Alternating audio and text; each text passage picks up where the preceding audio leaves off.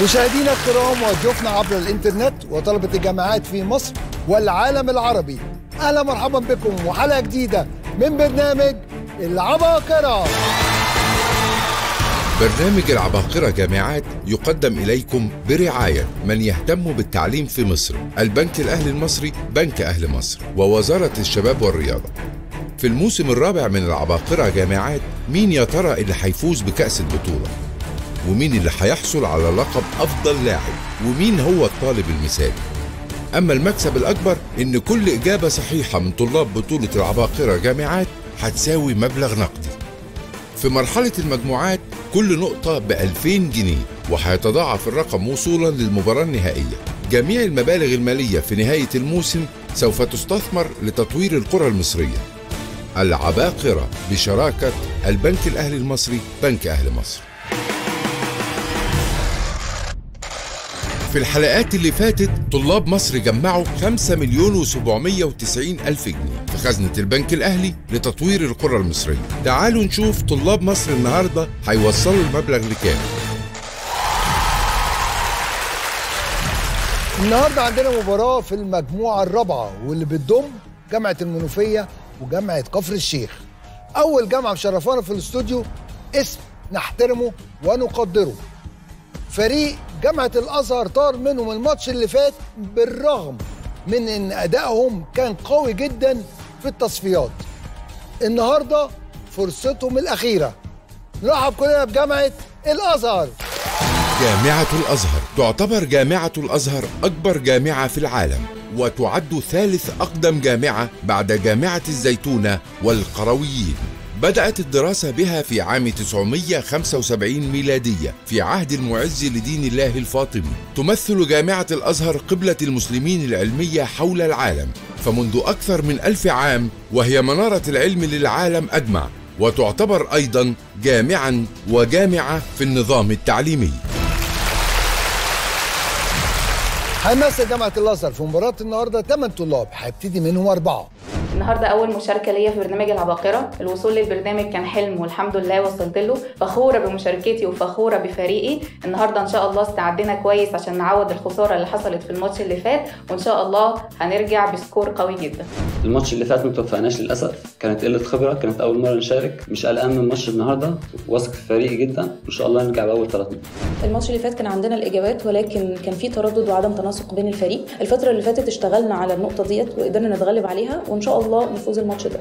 طبعا الماتش اللي فات كنت متوتر جدا نظرا لأن دي أول مرة ليا لكن الماتش ده آه، حاولت إن أنا أتجاوز كل ده واستعديت أكتر آه، خصوصا إن هنزل النهارده فقره تحت الضغط واستعديت لكده بإني قدرت أجمع أكبر قدر من المعلومات وإن شاء الله أجاوب على أكبر قدر من الأسئلة.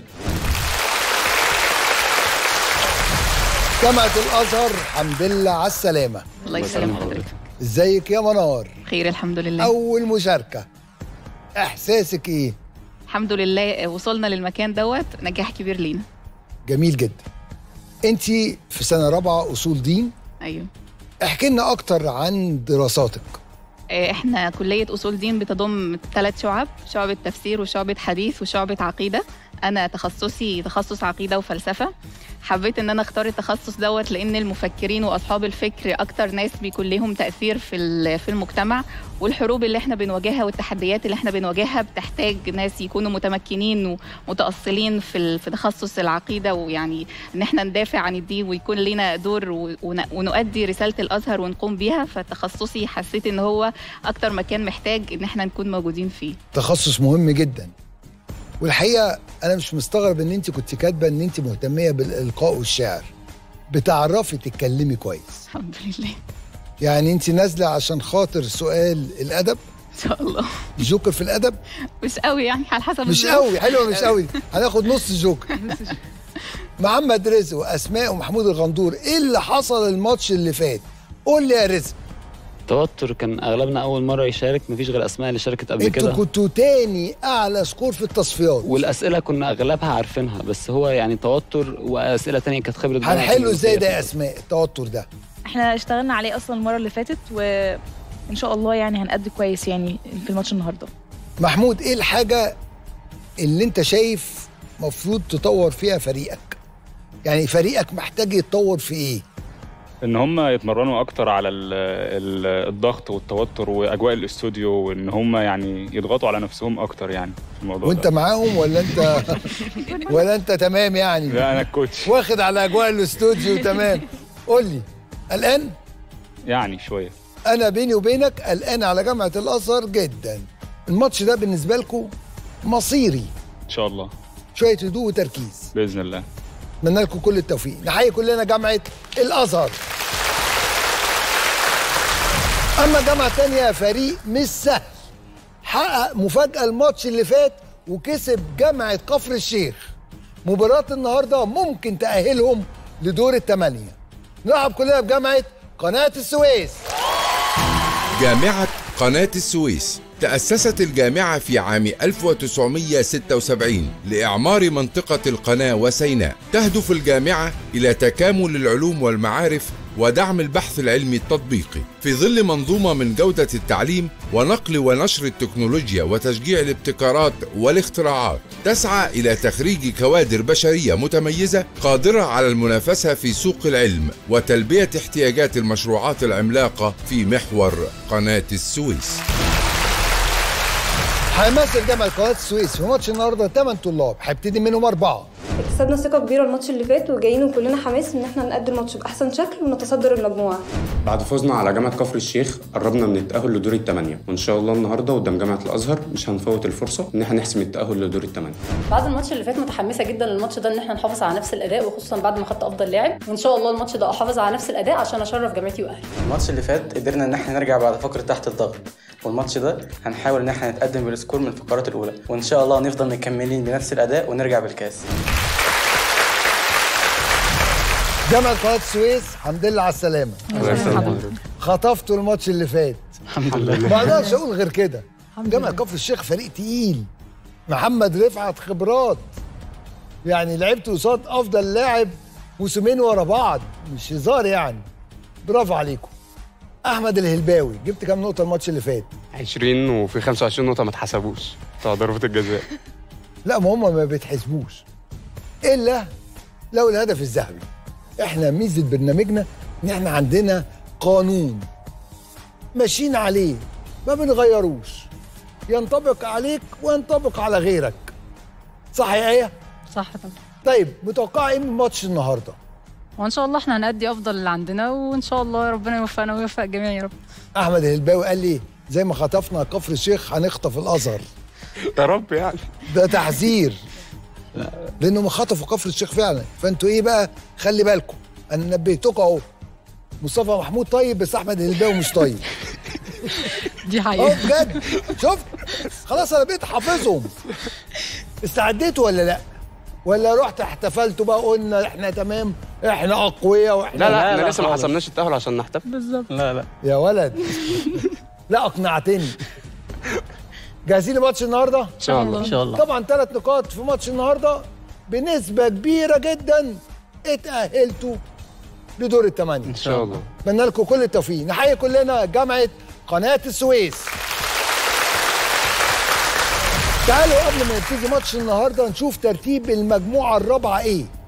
في المركز الأول جامعة قناة السويس بالإسماعيلية. ثلاث نقاط 125 نقطة إجابات صحيحة. في المركز الثاني جامعة المنوفية. ثلاث نقاط 120 نقطة إجابات صحيحة. في المركز الثالث جامعة كفر الشيخ. مفيش نقاط و90 نقطة إجابات صحيحة. في المركز الرابع جامعة الأزهر. مفيش نقاط و70 نقطة إجابات صحيحة. عباقرة الجامعات في الموسم الرابع ست فقرات العلم المعرفة الفنون تحت الضغط ضربات الجزاء وعجلة الحظ. وأول حاجة بنبتدي بيها هي سؤال السرعة. سؤال السرعة. والسؤال هو نابليون هو اسم شخصية رئيسية في إحدى روايات الكاتب الإنجليزي جورج أورويل. فما هي؟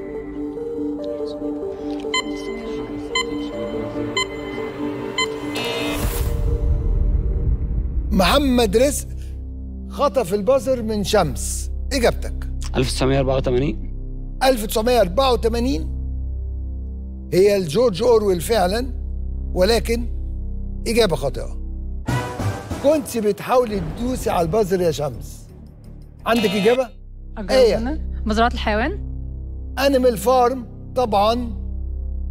لو مش G تبقى D صح؟ بالظبط. آية. إجابة صحيحة. Animal Farm وبتتكلم عن فساد القادة. كده بقى جامعة قناة السويس هتختار مين يبتدي الأول. هنبدأ إحنا إن شاء الله. يا سلام. إن شاء الله. وأول فقرة هي فقرة العلم. العلم. العلم أربع أجزاء. جغرافيا تاريخ أدب وعلوم. طبعا الجغرافيا ما فيش فيها جوكر. لا لا. طب إمتى يا مصطفى؟ أعتقد التاريخ يعني. تمام. شفت طيب إزاي؟ جدا. يعني مش مثلا قال لي إيه لسه هنشوف وكده. أنا كنت هقول لسه هنشوف. ما أنا عارفك. عشان كده ما سألتكش. وما أنا ليه رحت سألت مصطفى؟ عشان هيقول لي الحقيقة هضيعهم كده. جغرافيا والسؤال هو. في أي دول شمال إفريقيا يقع جبل أريكنو؟ تم اكتشافه سنة 1892 ارتفاع الجبل حوالي 1500 متر. الصخور المكونة للجبل ده معظمها من الجرانيت. إجابتك. هنقول الجزائر. نقول الجزائر وأنا كمان هقول إجابة خاطئة. مش الجزائر. عارف إجابتك من قبل ما تقولها. تونس. بقول لك عارف إجابتك من قبل ما تقولها. وتونس إجابة خاطئة. أربع اختيارات بزائد عشرة أو ناقص خمسة. مصر ليبيا المغرب موريتانيا. مين هياخد ال risk؟ فين يا الباقي ال risk آه ممكن نقول ليبيا. ممكن نقول ليبيا. طب ما قلتش ليه؟ ما مش عايزين نبدأ بسالم. كنت هتبتدي بزائد 10 نقط. الإجابة الصحيحة ليبيا. سؤال لجامعة الأزهر في الجغرافيا. جغرافيا والسؤال هو تعد جوتلاند أكبر جزيرة بأحد البحار. فما هو؟ مساحة الجزيرة حوالي 3000 كيلومتر مربع. مصدر دخلها الرئيسي من الزراعة والسياحة. خمس ثواني. محمود الغندور إجابتك. بحر البلطيق. هي تتبع السويد. السويد. يبقى إجابة صحيحة. بحر البلطيق هي الإجابة الصحيحة. برافو عليك يا غندور. نتيجة عشرة. جامعة الأزهر. سؤال في التاريخ. في جوكر مع مصطفى فتحنا بقى. تاريخ والسؤال هو. في أي دولة عربية وقعت انتفاضة الوثبة عام 1948 قام بها الشعب اعتراضا على معاهدة بورتسموث. بين بريطانيا والدولة دي.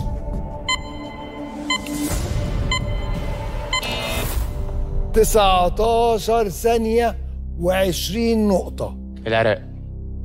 الأزهر عندكم إجابة تانية؟ لو غلط لو آه غلط، عندنا آه. إجابة. لو صح أكيد مش هيبقى فيه إجابة تانية. إن شاء الله. إن شاء الله غلط. إن شاء الله غلط. بقول لك إيه؟ محمود الغندور وأحمد الهلباوي هيبقوا أصحاب يعني. غالبا. أحمد الهلباوي العراق إجابة صحيحة. إدت لبريطانيا الحق في التدخل العسكري والسيطرة على النفط. كالعادة النتيجة اتغيرت. جامعة قناة السويس 20 وجامعة الأزهر 10 وسؤال في التاريخ. تاريخ والسؤال هو. بيدرو الثاني هو آخر إمبراطور يحكم إحدى دول أمريكا الجنوبية عام 1831 فما هي؟ بيدرو الثاني. حكم من 1831 ل 1889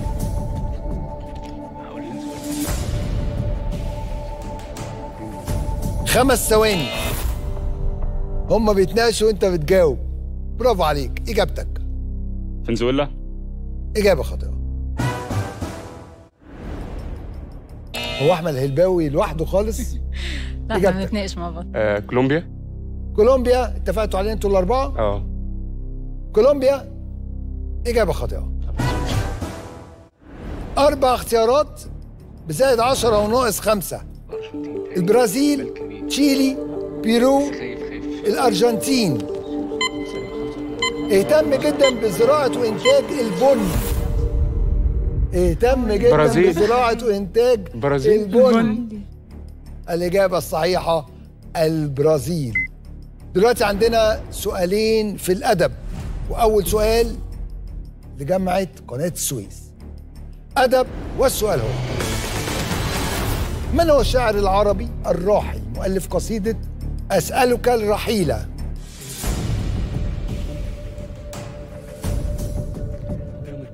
من ديوان قصائد متوحشة.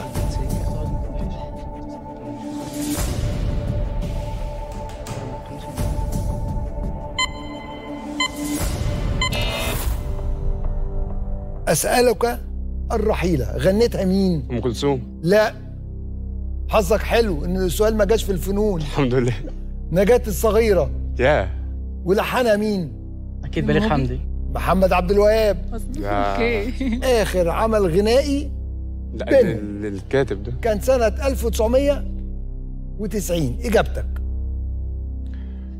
حسين السيد. مات. أصل أنا اديتك معلومات. آه بوظت آه. اللي في دماغي. معلومات لخبطت لك دماغك. يعني أنت كنت رايح في حتة واديتك في حتة تانية خالص صح؟ هرجع لك هرجع لك. لأن أنت كان عندك إجابة تانية. أحمد الهلباوي إجابة خاطئة. جامعة الأزهر في إجابة؟ إن شاء الله. اتفضل رزق إجابتك. نزار قباني. هي نفس الإجابة؟ لا. مش هي. تمام. نزار قباني إجابة مين؟ جينا- راجعينها امبارح. فعلا؟ إجابة صحيحة. فعلا لنزار قباني. برافو عليك يا رزق النتيجة تعادل 20 20 سؤال في الأدب ويا منار فين الجوكر؟ شايلينه. إيه ده؟ أنت ضحكت عليا؟ شايلين الويت منار دوس على البزر. هو أنت بتسمعي كلام أيوه إيه؟ دوس على البازر هو ما. تخافيش. برافو عليكي. صح هو ده الصح. أنت جاية تستمتعي بالتجربة. خدي ال risk. خدتي 20 نقطة. برافو عليكي ما خدتيش 20 نقطة. hard luck أدب والسؤال هو. حليب أسود هي رواية لأديبة عالمية. فمن هي؟ اتنشرت 2007 واترجمت للعربية 2016 بتتكلم عن اكتئاب الأم في فترة ما بعد الولادة. محمد رزق. جي كي رولينج جي كي رولينج بعدت جدا يا رزق. إجابة خاطئة. ولا شمس. أحمد الباوي. أليف شفاط إليف شفاق. شمس سيد. برافو عليكي. إجابة صحيحة. إليف شفاق هي الإجابة الصحيحة. وإزاي طارت منكم ال 20 نقطة دول؟ هتوترنا لما يداس البازر أصلا.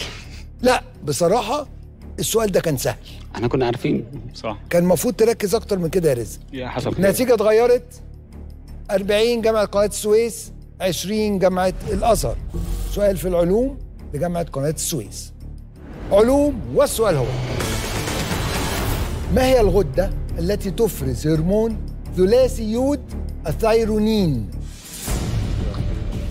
هرمون بيأثر على النمو ودرجة حرارة الجسم ومعدل ضربات القلب. دكتور آية. فرحانة إجابتك. أيوة خمسة طب بشري. تبقى دكتورة آية. إن شاء الله.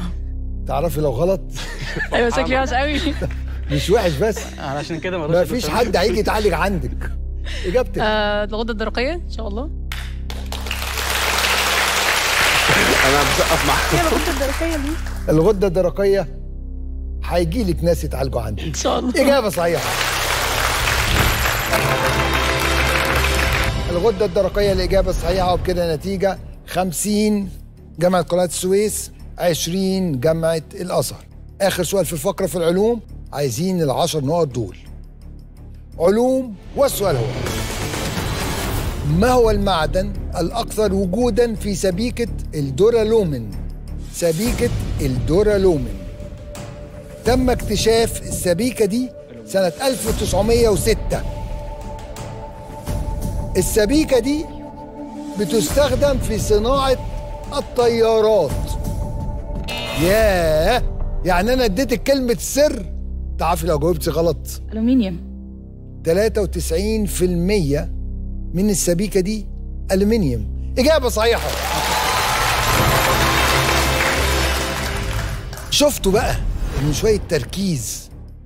بتعرفوا تجاوبوا النتيجة اتغيرت. 30 جامعة الأزهر 50 جامعة قناة السويس. سؤالين بس ما جاوبوش في الفقرة الأولى.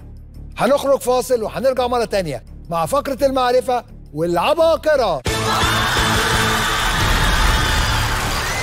يبقى طلاب مصر جمعوا 80 نقطة في فقرة العلم وكل نقطة ب 2000 جنيه بما يساوي 160 ألف جنيه. في خزنة البنك الأهلي لتطوير القرى المصرية.